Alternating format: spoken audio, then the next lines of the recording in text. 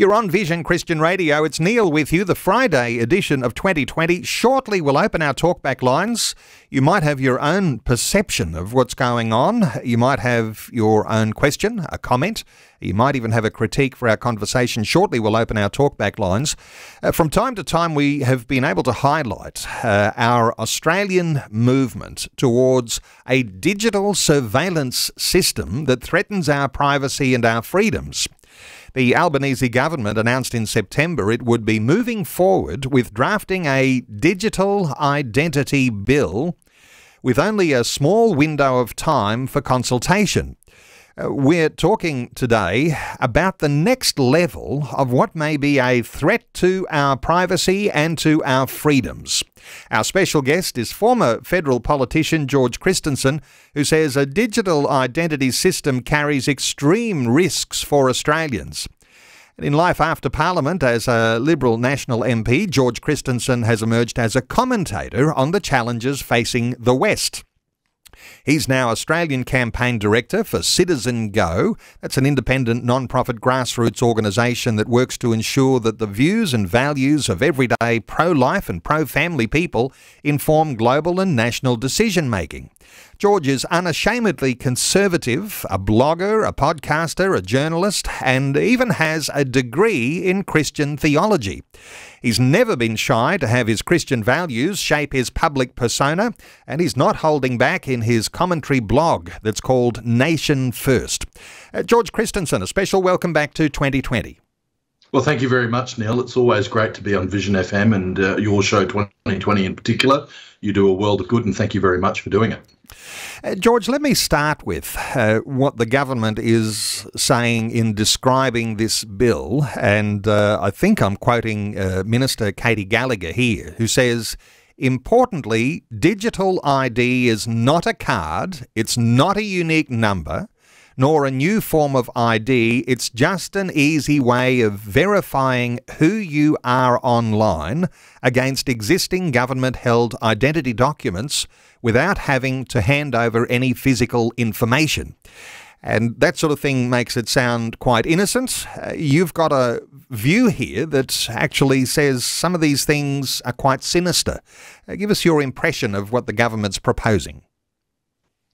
Well, Neil, for people who uh, have a bit of grey hair or maybe have uh, uh, hair that's not in places where it once was, you know, the reality is we remember something called the Australia card and and and this makes the Australia card look like a walk uh, in the park, mate. It really, really does.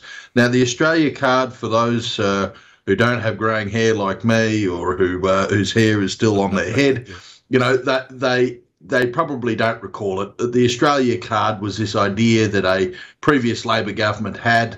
I think it was the Hawke Labor government, if I'm not mistaken, uh, uh, Neil, that um, they wanted to have a central identity card that would be the identity card for everything, for everything. It, it would re- basically replace the idea of using your license as your ID. Uh, you would use it for a whole host of government services. Now, this is the same thing. Uh, and, and we railed against it back in the 80s when they proposed this centralized identity that was going to be a card. Now, there's something to be said that that actually having a card that you can keep in your pocket um, is actually less intrusive and less invasive of your privacy than the idea of some digitized identity system. Uh, a digitized identity system, Neil, uh, there is a lot of hairs on it, a lot of hairs because the government's talking about um, the, the rationale behind doing this is that there have been a lot of identity breaches um, there've been a lot of hacks where people have had their uh, uh, their so-called digital identities, of which you know we're just talking about your login credentials to some service, whether it be private or public, uh, that it's been stolen by someone else. And this newfangled national digital ID system, this trusted identity system, as they're also calling it, is going to fix that. My question is straight up, Neil, without going down any rabbit hole here, is that pray tell, what is going to make this national identity system better than any other existing system which has been hacked? And there have been government institutions, not just in Australia, all around the world that have been hacked.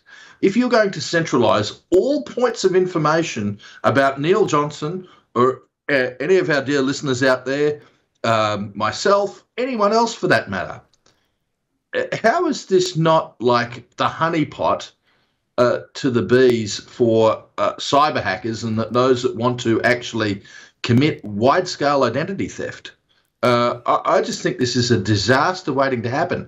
And that's before I even start going down any rabbit holes. And there's a lot to go down, Neil. well, George, uh, I know that the on the upside, uh, there's the thought of streamlining all the activities that you might do in your day to day life. Uh, making life easier. And of course, then there's always uh, the argument that this is for your safety. Uh, there are different ways of arguing that there are some good things here. As you identify, though, there's, uh, you know, there are scammers, there are identity thieves. Um, uh, trust and identity uh, might be one thing we could think about, but there are always ways that someone's trying to subvert the system. But uh, in a mm. sense, the government's trying to streamline things and make life easier and make sure that everyone could be accounted for. But of course, there are dangers in that too. Mm, yeah, there are, and look, I, I think that that uh, look, I, I, I don't want to ascribe um, nefarious motives to uh, Senator Katy Gallagher. I'm sure she's being genuine when she says uh, that she believes in this as some sort of push to uh, make it easier. But really, now, I mean, how difficult is it for anyone who is switched on with technology to actually log into a system? Um, I mean, we all forget our passwords. This is not going to negate the uh, need for passwords, Neil. Um, you're still going to have to remember that. So, so it's not going to make life easier at all, really. Um, uh, it is just going to add an extra level of complexity to a system that, for some people, is actually already complex when you have to navigate the internet. And there is another point, now, again, without going down any of the rabbit holes that uh, surround this issue. Um, what about those who aren't tech savvy? What about those who actually um, don't access the internet?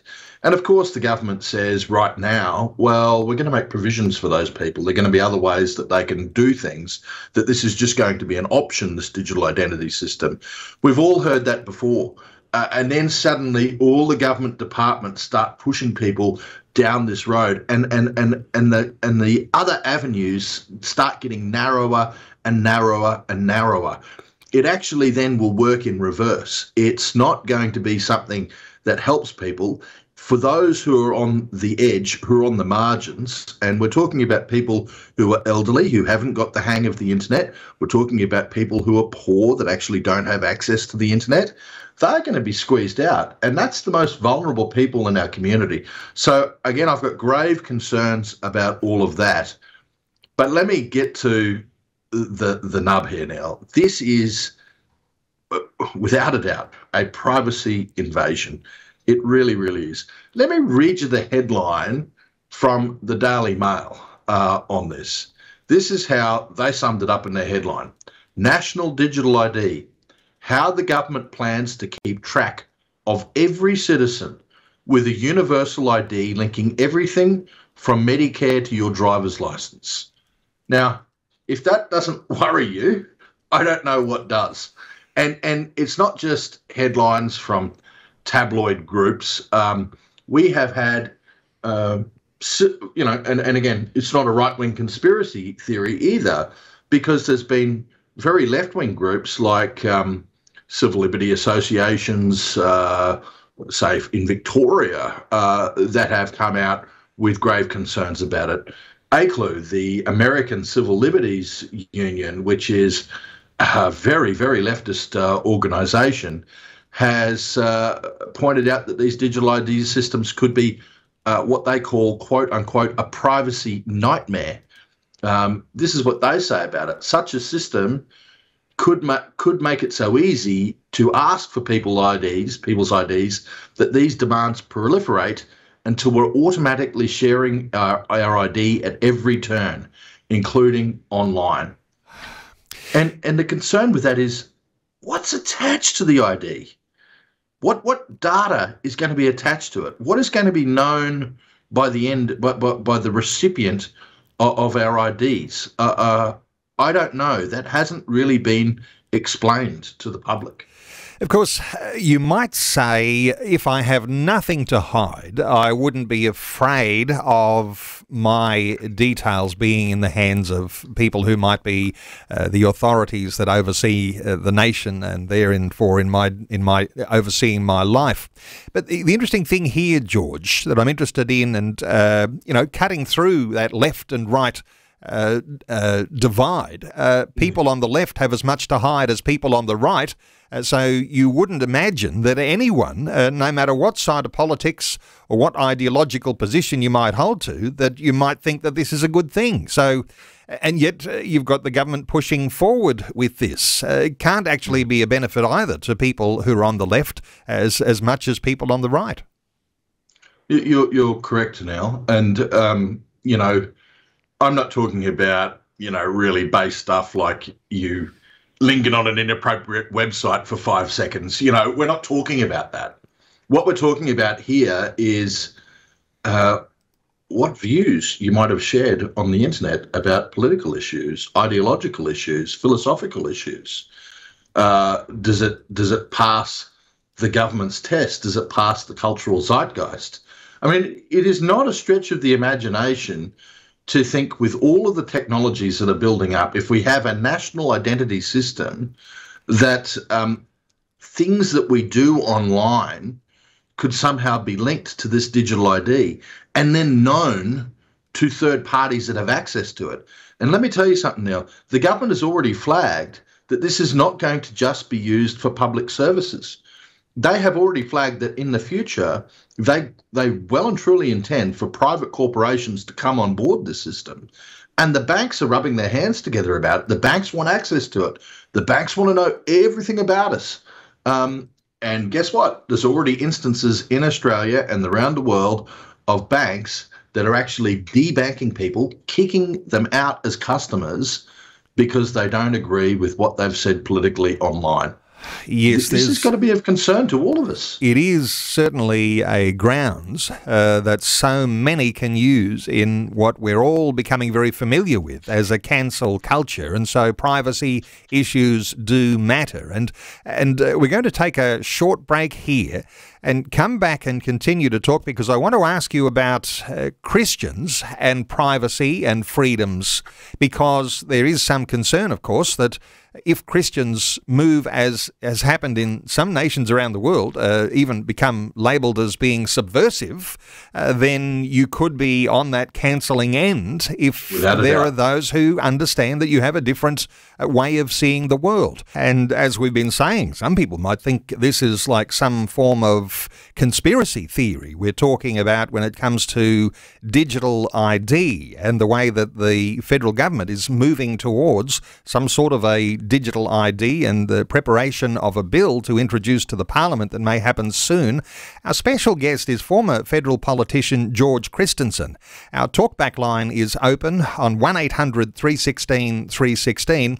George, of course, uh, what moves governments to legislate uh, might actually come with uh, even good motivations, uh, sensible things you might even say, could be making life easier. However, you combine that with a mix of new technologies and link that to a digital ID system, and you get the person with a wrong motive then comes to power, and that leads to the possibility of control. Uh, give us your insights here that if you don't nip these things in the bud early, when it's out of control, it's too hard to get the genie back in the bottle. Indeed, indeed. And, and, and look, uh, it's a concern because the development of emerging technologies that could go hand in hand with any nationalized, centralized digital identity system. And, and that's of concern, particularly to Christians. And I'll explain that in a moment. But I want to refer to Brett Solomon, who's the executive director of a non government organization, an international organization called Access Now. That is set up to defend and extend the digital rights, as in the online rights, of people all around the world. And here is what he says he says, I am convinced that digital ID writ large poses one of the gravest risks to human rights of any technology we have encountered. Worse, we are rushing headlong into a future where new technologies will converge to make this risk much more severe. Now, listen to this, Neil. He says, for starters, we are building near perfect facial recognition technology and other identifiers from the human gait to breath to iris. Biometric databases are being set up in such a way that these individual identifiers are centralized, insecure, and opaque. There is a capacity for geolocation of identifiers, that is, the tracking of the digital you in real time. A constant feed of insecure data from the Internet of Things may well connect you and your identity to other identities and nodes on the network without your consent. In addition, systems using AI and machine learning are used to make decisions based on our identities. These systems are often built on data that can reinforce bias and discrimination and are wielded without sufficient transparency or human review. And this is the clincher here. He says ultimately, social credit systems such as those that are currently being developed in China, will be based on digital ID, thereby enabling or disabling our full and free participation in society. By developing these technologies in parallel with systems for a digital ID, we are not simply establishing an identity to access basic social services. Digital IDs will become necessary to function in a connected digital world. Now, listen to this. This has not escaped the attention of authoritarian regimes.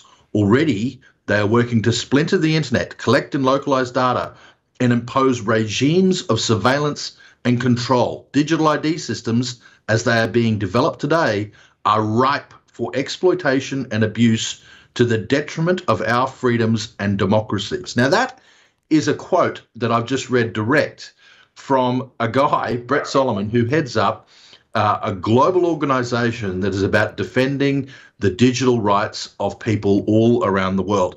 He is terrified about digital ID. Now, as Christians, we know that the current zeitgeist uh, and, and the current policies, particularly of Western governments, are going well against our views. Uh, in fact, Neil, they're not just going away from them, they are now almost in opposition to what we stand for. Um, we have the United Nations, for instance, uh, of which we're a party in Australia, that came out with a document only a months ago that actually said that the rights of people of faith are contrary and subservient uh, or subordinate uh, to the rights of LGBTIQ alphabet soup people. You know, so so this is the zeitgeist that we're working under. And, and my concern is when you have all of these streams of information, all of this data coming into a central point and feeding into your digital ID, when we've got biometric uh, surveillance, uh, biometric surveillance that, that actually is connected to digital ID. The government's already said that there's going to be biometrics involved in that. So facial scanning, retina scanning, that sort of thing will be connected to digital ID. When you've got that, when you've got geolocation, online tracking, this is dangerous now. I don't know how anyone can't see that, that maybe not right now, but certainly give it 10 years into the future, uh, we will have a level of control over what we do, what we access, what we say, online, and not just online. As this guy Brett Solomon talked about, the Internet of Things, everything's being connected. You got your little Alexa in the corner over there that's listening to you, or your your Google. Um, uh, what do you call it? The uh, little you know, Chat little, um, GPT and yeah, uh, yes, or, yeah. and and people have got just household appliances, TVs, fridges, ovens, all the rest connected to it. Are they listening to us? Um, and you think, oh, that's crazy talk, George. Apart from the fact that people like Edward Snowden, who actually had to flee America because he exposed stuff, uh, did actually say that that that there was information he had from his time working as a uh, for the national security apparatus in the US that even uh, uh, smart TVs were listening to people's conversations and feeding that through to the national security apparatus in the US. So, so information is coming from everywhere, and this is my concern about digital ID. It just makes this the whole thing so much more worse because it makes it easier for governments, particularly governments with an authoritarian hue who want to clamp down on a section of the public. It makes it easier for them to do that clampdown. Uh, we're only a couple of minutes from news. Let's squeeze in, if we can, a call. Richard is in Alstonville in New South Wales. Hi, Richard. Need to be quick. What are your thoughts? Um, I have one or two questions. First, first one is um, the QR, the QR scanning, scanning um, codes or whatever, or the the the, the mm. interface we that were brought in just before COVID that we used as as a massive place in COVID. Is that a um, a system of the future where they use to scan information and um, store data? Uh, Richard, a very quick response here. What are your thoughts around that, George? Well, I think that um, it, it, could be used like that. Uh, I mean, we were told that all of this information was going to simply go off systems, that it wouldn't be used for anywhere else. And then we suddenly found that police were actually using it in certain states. Um, so there, there, there it goes. Uh, we can be told as many things and given as many provisos and, and, and, notions of protection as possible, but it still ends up being misused, and that's by government. How we, if this is going to fall into the hands of private corporations, how is it not going to be misused? Uh, Richard, just very quickly, you said something, a second question. Yeah, the other question I had is with, um, say, with China um, bumping up their surveillance in countries like Russia, and you you hear about it quite a lot. Is is something you, you talk about um, facial recognition and all this technology? Is this something mm. that they could possibly have a referendum on in the future? To ask all Australians, or do you think they will just legislate it? Well, let's hold off on an answer because we've got to go to news. Um, Richard, I'm going to say thank you very much. Uh, we might talk about that referendum issue after news. George Christensen's our guest. Our talkback line open 1800 316 316. We're breaking for news and back to continue this conversation after Vision National News. Wonderful to have you with us on this Friday edition of 20Twenty. If you are just joining us, uh, you're joining into a an important conversation, I think, uh, because we're talking about digital ID and the potential for digital surveillance. Uh, threatening our privacy and our freedoms. The Albanese government announced in September it would be moving forward with drafting a digital identity bill with only a small window of time for consultation. We're talking today about the next level of threat to privacy and freedoms with special guest, former federal politician George Christensen, who says digital identity systems carry extreme risks for Australians. These days, George is Australian campaign director for CitizenGO. He's unashamedly conservative, a blogger, a podcaster, journalist, and even has a degree in Christian theology. His commentary blog is called Nation First.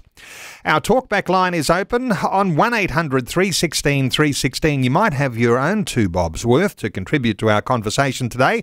It might be a question, it might be a comment, it might be something you have observed, and it might be even a critique for our conversation. 1800 316 316.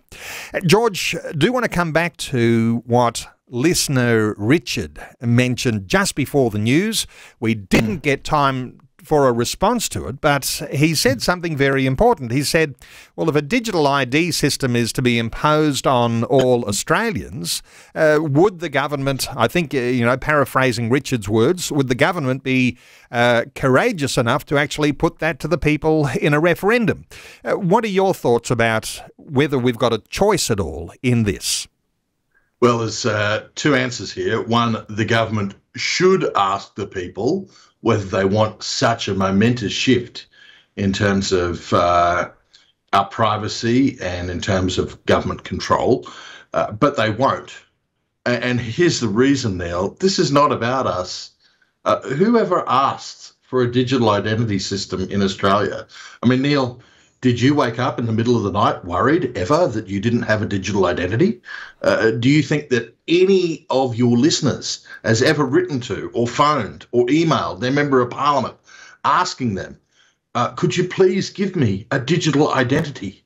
Um, you know, uh, have you ever been stopped in the street by someone and asked Neil, uh, are you worried about uh, not having a digital identity? I mean, this hasn't come from the Australian people. This really hasn't come from the Australian people. And so there's a real big question mark over what is the democratic value behind this proposition? I mean, we're supposed to be a representative democracy where the elected government of the day, in fact, all parliamentarians, are supposed to represent our views, our wishes, and our wants. Well, this isn't a wish or a want from the Australian public. Where does it then emanate from? Well, I can tell you where it emanates from, Neil. Since about 2015, there have been globalist forces such as the World Economic Forum, the United Nations, uh, more recently, the World Health Organization, that have been talking about the need for a globally connected digital identity framework. Now, that is going to be really scary. You know, we're not now just talking about the Australian government, state governments, maybe local governments, maybe Australian banks and big corporations like Telstra and Optus in Australia having access to this digital identity system. We're talking about governments and multinational corporations all around the world potentially having access to your personal data, to your private information. Who the hell wants that? Who voted for that? Okay. Hey, we're taking calls 1 800 316 316. Let's take a call from Chris in Melbourne. Hello, Chris. Welcome along. Uh, good day, Neil and George. Yeah, I, I just want to get George's opinion. Don't you think it's hysterical that they're having a huge AI conference in Bletchley Park at the moment in England? Uh, uh, you know, the dangers of AI when they can't, mm. like you said, see the dangers of digital identity. Everyone seems to hate China, and they know what's happened in China, but yet they, they keep to keep on going after this. Uh, yeah, I just find it hysterical. And anyway, I, I think if you're a betting man, Prince Charles has uh, got uh, front running in the 666 stakes. Uh, I'd just like your opinion on that. Yeah. now we're getting into conspiracies. Uh, George, your thoughts for Chris? Uh, well, look, I'll leave uh, King Charles alone. He's got some views that I find a little bit uh, strange on certain things, but uh, nonetheless, he's the king. That's a figurehead uh, rather than anyone with uh, that actually wields um, practical power. My concern more is of the people that we elect and the kind of things that they want, like this digital identity agenda. And and and you're right. I mean, here we have the we're going to corral Governments are actually uh, wanting to force more of our information, actually have digital systems that uh, verify who we are. And without a doubt, I mean, as AI continues to grow, the system will be interconnected some way. How it's going to be interconnected, I don't know yet. Um, you know, that is the future, but we have to prepare for that. And and and the number one thing I say is that don't digitize their identity, and therefore we don't fall into any trap here. Um, you know, I, I, think that you're on the money. That that uh, there is a concern uh, about all of this technology, um, but the problem is we've got governments that are just embracing it without thinking of future repercussions beyond their life. Um, and, and, it's got to be of concern to all of us. Chris in Melbourne, thank you so much for your call. 1 800 316 316 to join in our conversation. We'll take another call in just a moment, but one listener called through. His name is Dirk.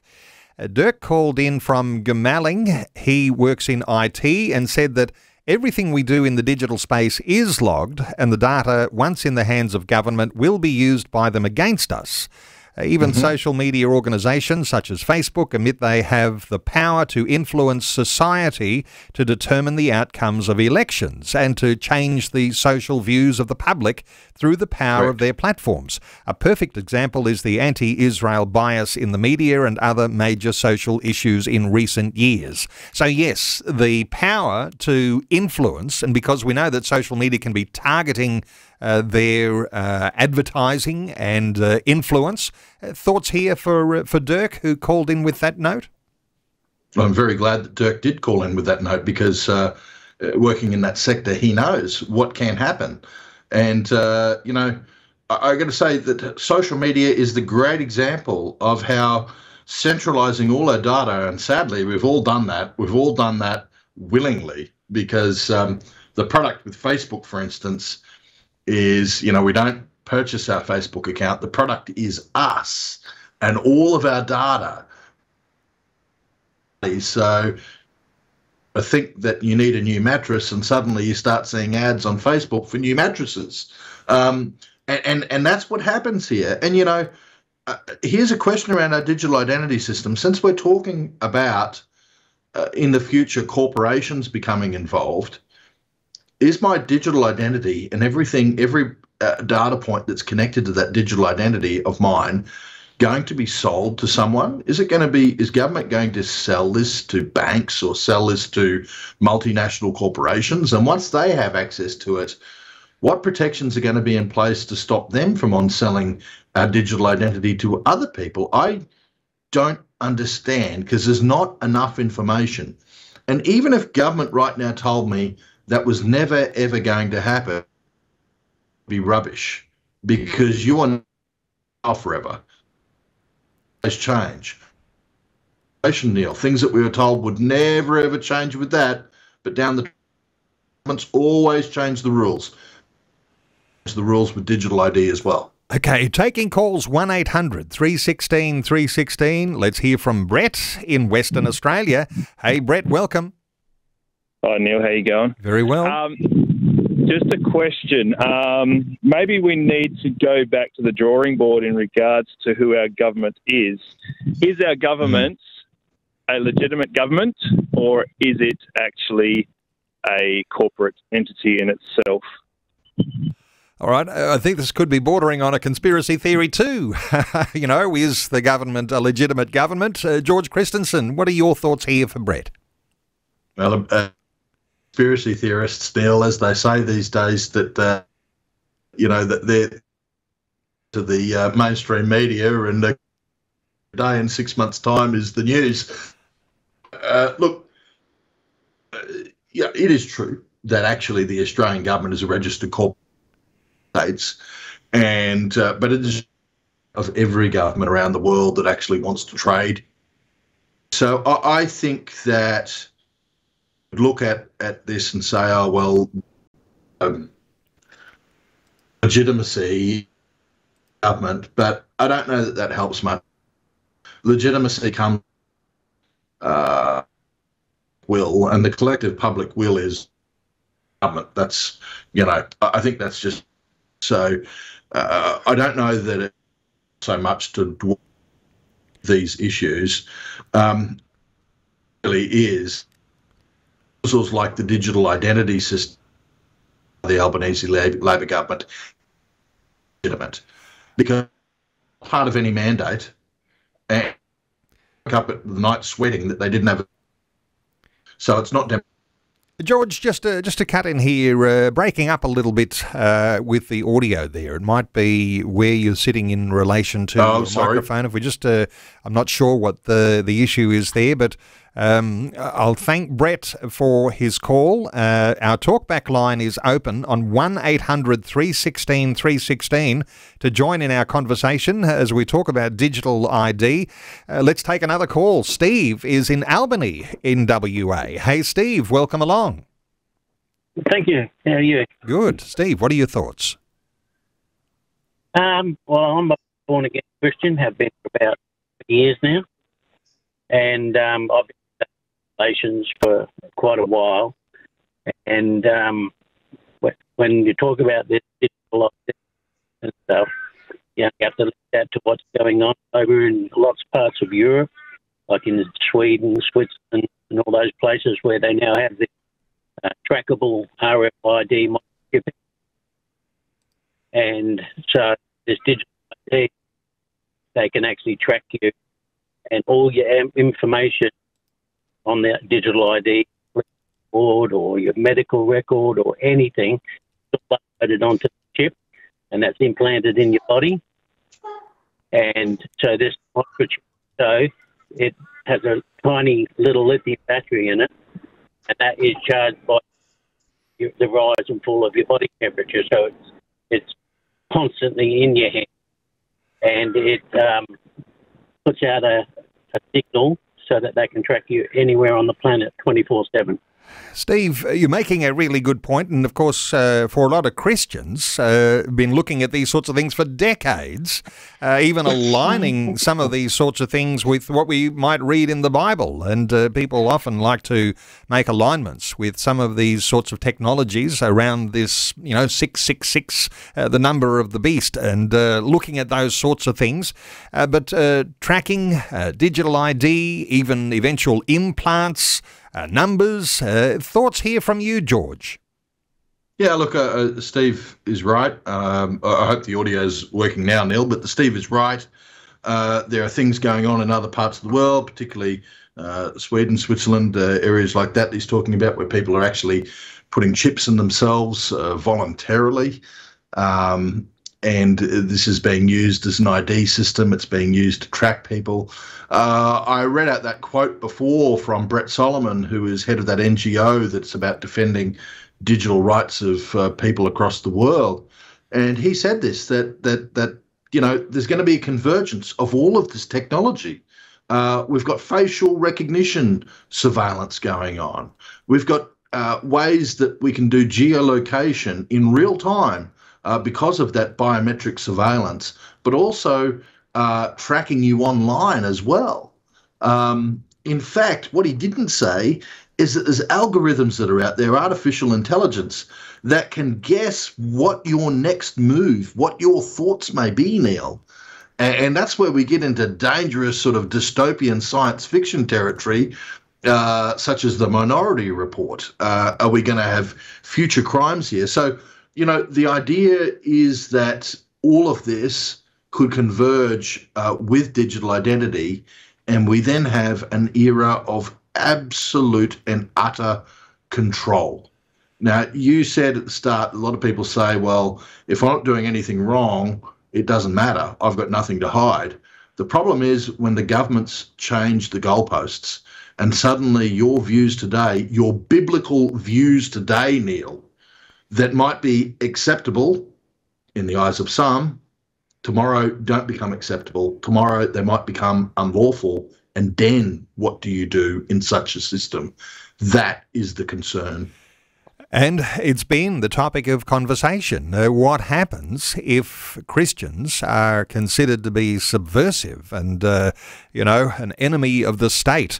Hey, thank you so much to Steve for your call. Uh, 1 800 316 316. Although uh, the time is getting short, we'll see if we can get as many calls in as we can. Nigel is in South Australia. Hey, Nigel, welcome. Yeah, thanks, Neil. Um, just uh, very interesting. It's good that this is on air. But I, I saw a news clip, a uh, video clip of uh, the UN, the um, I need to turn your radio down in the background there, Nigel. It's just, uh, it's, it's, it. yep. yep. Yeah, got it, mate.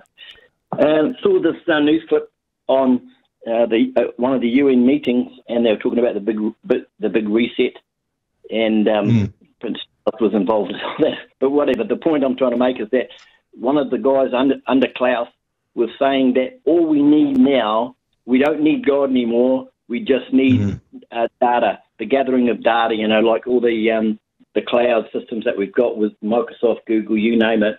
And they said once we accumulate the knowledge, then we have the power to control. And if that's the um, the ideology of the UN, which is influencing um, even our nations and all other nations, um, how do we combat such an ideology as that, which this could be like the digital is just a one digital identity, just one step further. As um, okay, the other guy that was talking to you, the interviewing there, sorry, mm. that he was mentioning that um, it will be total control. Like it, it just pro- seems to progress like that, like it has with China and things like that. So that's my take on it. Uh, good thoughts there, Nigel. Um, mm. uh, what are your thoughts here, George? Uh, this thought well, of, uh, you know, you've got this sort of, it's like mm. the Great Reset. Uh, uh, Klaus Schwab, uh, an exclusive humanist approach, uh, data being the new God. We don't need the God of the Bible, we just need the data.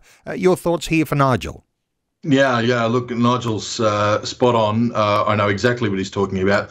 Uh, it is the World Economic Forum, not the United Nations, although they have a very close partnership with the United Nations now, so they work towards the same agenda. Uh, the person who made those comments was uh, like the uh, the tech slash spiritual guru to the World Economic Forum. His name is Noah Yuval Harari. And uh, Harari actually did say what was uh, said by Nigel then that, um, you know, we don't need to rely on God anymore. The accumulated, amassed information and data from everyone will be the new God. And, um, you know, these are the people who are pushing this system, the digital identity system. Again, didn't come from you or me or anyone of the people listening or just about any ordinary everyday Australian. It come from these globalist elites, these people like Harari, who want to develop some new system. And they talk in this language, which is quite bizarre. I mean, creating a new God. Um, uh, so, so you have to be concerned about the origin of this idea that the government, the Australian government, is now implementing. That is what I have to say about all of that. It's a concerning future. It's a dystopian future, and but it's a future that the Australian government is going down. Okay, thank you so much to Nigel for your call. And uh, we need to wrap things up. And uh, uh, for those listeners that couldn't get through, let me say uh, apologies for that. You probably had a great point to make, but we might have to talk some more about this in the coming times ahead. Um, we do need to wrap things up. An important conversation just ahead, uh, talking about the laws of war, and I don't want to miss that one. Uh, that's coming up just ahead. Um, I want to thank you so much for taking some time to share your thoughts today with listeners, George Christensen, and I know that there'll be listeners who'll want to keep up with some of these thoughts and listeners might know they won't get these sorts of thoughts just anywhere, and uh, they will have an opportunity to connect with you. I'm going to give a website and also a way that you can connect by subscription to uh, some uh, regular blogs uh, that are put out by George Christensen. So, georgechristensen.com.au is George's website, but you can also subscribe to some daily uh, articles arriving in your inbox. Nationfirst.substack.com. Nationfirst www.substack.com. Uh, George, uh, those are the best ways to connect with you. Is there any other ways? Yeah, could I put a plug in for CitizenGO, international organisation, good guys defending life, family, and freedom right around the world, including here in Australia. CitizenGo.org. And what you will find on that website, uh, one of the first petitions, protect your privacy now, stop digital ID. If you're concerned about it, get on the internet now, citizengo.org, go to that petition and sign it. You will be sending a message to the government that you do not want digital identity in our nation invading our privacy and threatening our freedom. And I think that's the most important message that I've got today. Some action you can take immediately uh, by signing that petition uh, and then find out some more about this. Uh, be forearmed uh, with an understanding of where things are headed. And, of course, incorporating that with what you understand about your Christian faith and whether there is any threat to our Christian faith uh, in a digital age. And I think most of us, having heard this conversation, will agree there certainly is. And that has all sorts of ramifications for the church, uh, for our privacy, for our freedoms, for the advancement of the gospel of Jesus Christ. Uh, George Christensen, thank you so much for taking some time to share your thoughts with us today on 20Twenty. Thank you, Neil. God bless you and God bless everyone listening to this uh, radio show. Again, you do a fantastic job talking about these issues here on 20Twenty. Uh, I want to thank you very much for everything that you do. Made it is a ministry, it is uh, a mission that you're on, and it's from God. And may you be blessed, and may Vision FM be blessed, mate.